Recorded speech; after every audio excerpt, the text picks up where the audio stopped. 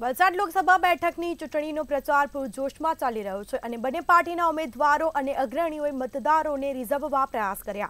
ત્યારે ભાજપના ઉમેદવાર ધવલ પટેલના સમર્થનમાં રાજ્યના મુખ્યમંત્રી ભૂપેન્દ્ર પટેલ આજે વાપી પહોંચ્યા અને જ્યાં તેઓ વાપીમાં વલસાડ જિલ્લાના ભાજપના પદાધિકારી અને અગ્રણીઓ સાથે બૃહદ બેઠક કરી. બેઠકમાં મુખ્યમંત્રી ભૂપેન્દ્રભાઈ પટેલ, વલસાડ લોકસભા બેઠક પર ભાજપના ઉમેદવારને પાંચ લાખથી વધુ મતની લીડથી જીતાડવાની હાંકલ કરી. અને આ સાથે જ મુખ્યમંત્રીએ વલસાડ જિલ્લાના વિવિધ સમાજના અગ્રણીઓ સાથે બેઠક કરી.